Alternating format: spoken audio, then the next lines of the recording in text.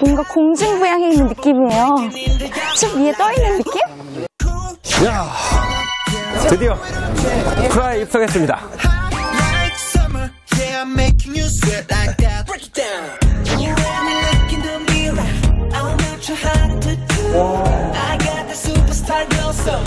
정말 아름답지 않습니까?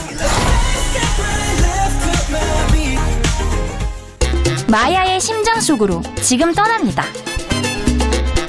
마야 문명의 신비를 품은 거대한 피라미드. 산속 자그마한 마을에서 벌어지는 흥겨운 축제.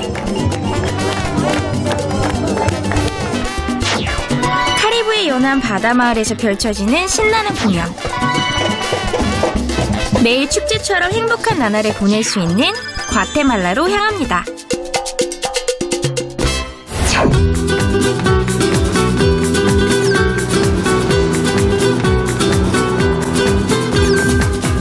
제2의 고향과도 같은 중남이지만 출발할 땐 언제나 마음을 단단히 먹습니다. 멕시코를 경유해서 과테말라 시티까지 하루가 꼬박 걸리는 꽤나 긴 여정이기 때문입니다.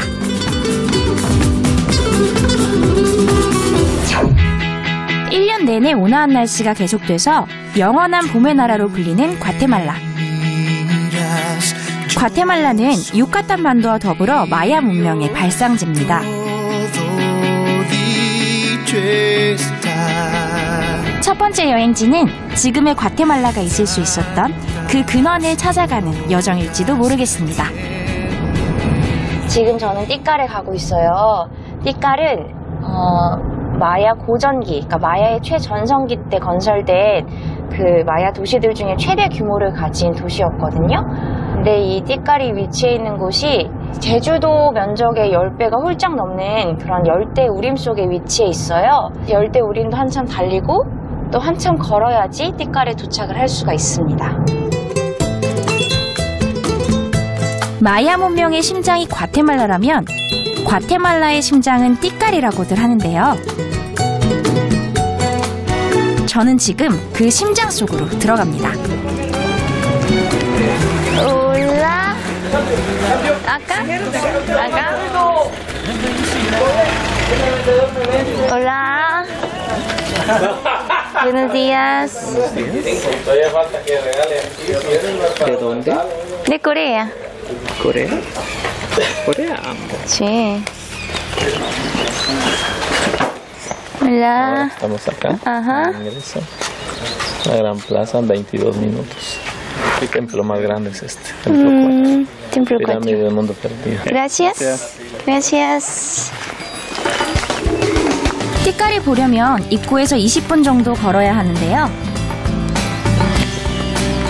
울창한 밀림으로 뒤덮인 숲길은 심심할 새가 없습니다. 가는 동안 마야 유적들을 심심치 않게 볼 수 있기 때문이죠. 지금 여기가 작은 언덕처럼 보이잖아요. 근데 사실 이 밑에는 마야 유적이 숨겨져 있습니다. 어, 띠깔이 빼땐 밀림에 위치해 있어서 지금 보시는 것처럼 뭐 흙에 가려 보이지 않거나 바이틈에 있거나 나무에 가려져서 보이지 않는 그런 유적들이 대부분이라고 해요. 지금 우리가 볼 수 있는 이 유적, 유적은 띠깔 전체 면적의 한 20%밖에 되지 않는다고 합니다. 지금껏 발굴된 띠깔 유적지의 면적은 여의도의 5배 정도. 그런데 그것도 극히 일부라니 전체 규모가 쉽게 상상되지 않습니다. 드디어 거대한 피라미드가 눈앞에 모습을 드러냅니다. 이곳이 바로 마야의 심장, 띠깔입니다. 마야 최대 규모의 도시, 마야의 번영을 누린 도시 띠깔.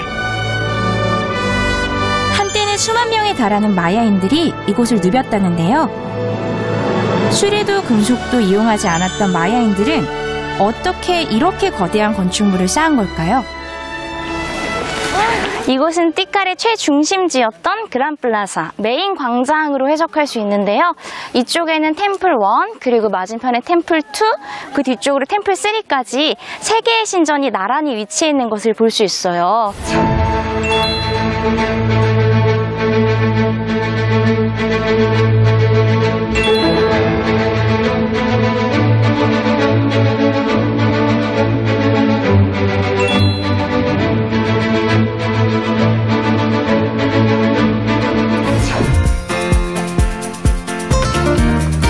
수도 과테말라 시티에서도 차로 10시간 넘게 걸리는 북쪽에 있지만 과테말라를 여행하는 여행자들이 꼭 들리는 필수 코스입니다.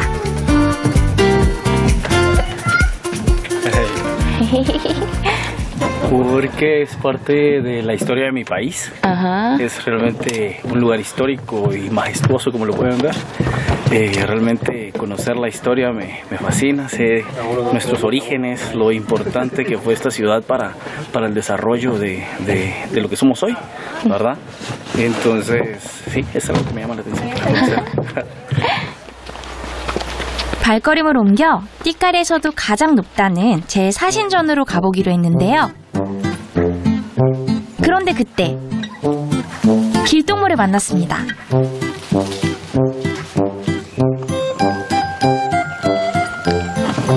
저쪽에 너구리 가족이 있어요.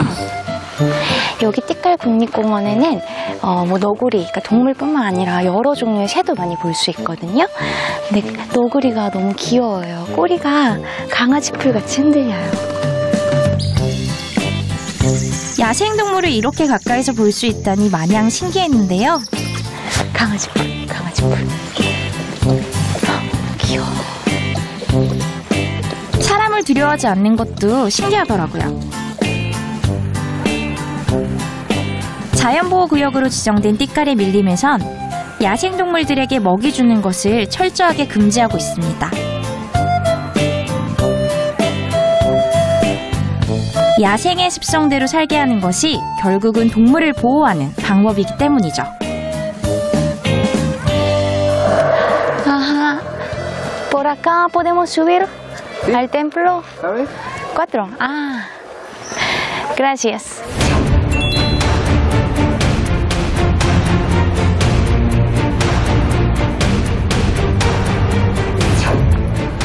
띠깔에서 최대 높이를 자랑한다는 제 사신전. Hola.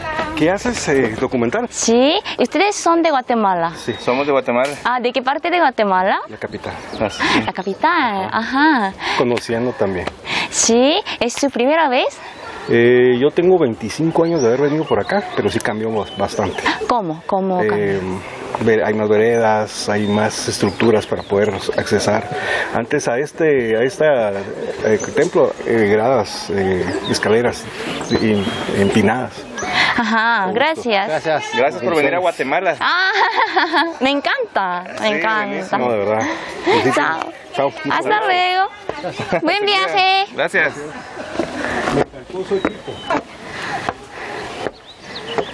아, 힘들어요.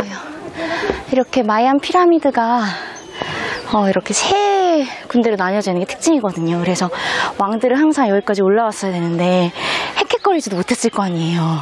멋있게 막 이렇게 올라왔을 거 아니에요. 엄청 힘들었을 것 같아요.